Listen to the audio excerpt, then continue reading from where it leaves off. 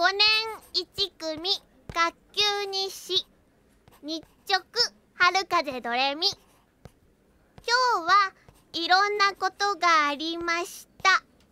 でも魔法堂のお菓子のおかげでみんなハッピーピーになれました。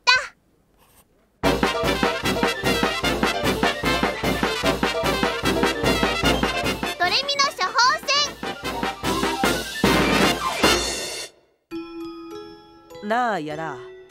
なんだよ。実はさ。ストップ！あ？ダメだよ。喧嘩なんかしちゃ。矢田くんも長谷部くんもはっきり言ってカルシウムが猛烈に足りないのさ。カルシウム？何言ってんだよ。俺たち別に喧嘩なんか。怒りっぽいのはカルシウムが足りない証拠だよ。ちなみに元素記号だから喧嘩なんてしてねえっての。分かってるって。隠さなくてもいいってば。だから隠してねえって。いつも喧嘩ばっかりの矢田くんと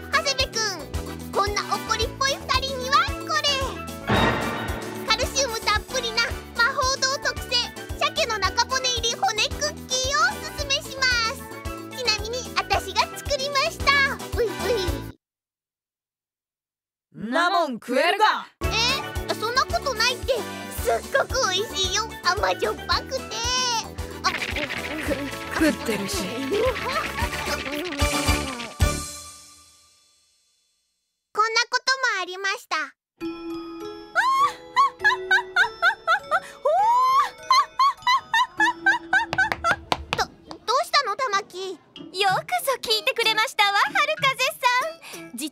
実はパパがおフランスへ出張に行った帰りに有名ブランドの金の文福茶私が言ってるのはそんなことじゃないよ。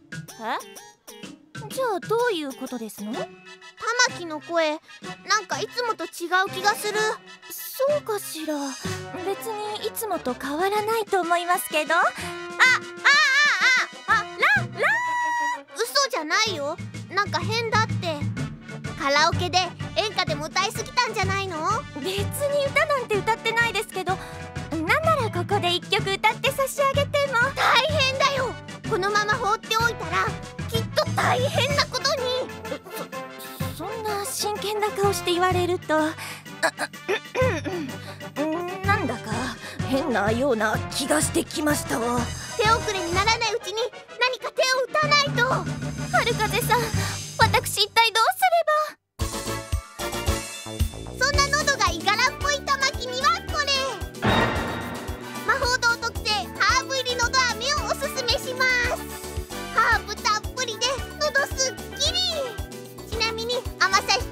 梅じそ味大人の味だね。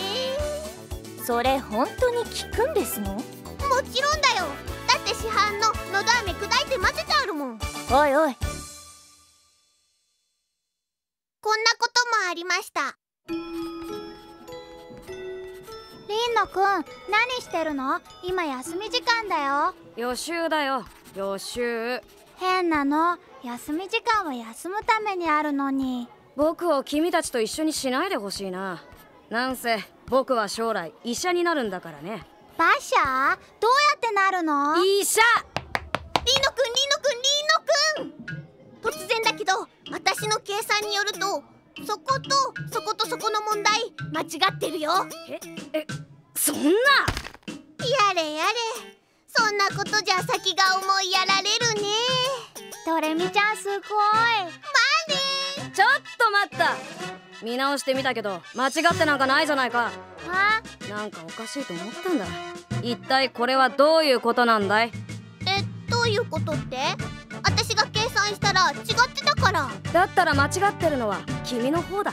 どうしてそう決めつけるのさ？それは僕の方が春風さんより賢いからだよ。ちちち。リンノくんが知らなくて私が知ってることなんていくらでもあるんだよそんなバカなことがあるわけない。だったらさ私の足のサイズ知ってる？え？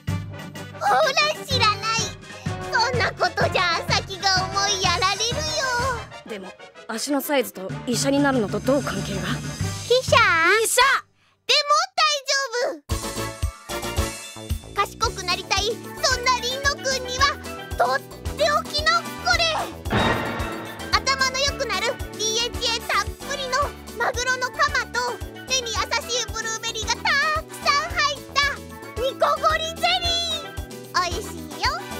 そう。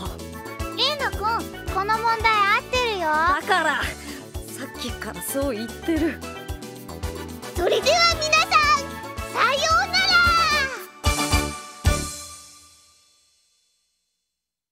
というわけで今日の5年1組は楽しく平和な一日でした。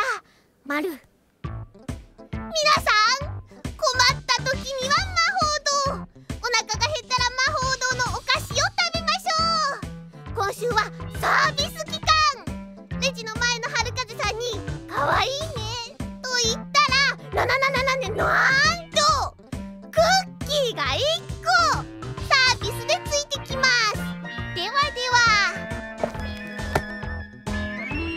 担任の先生のコメント。春風？学校で妙なお菓子。売りつけるんじゃないよ。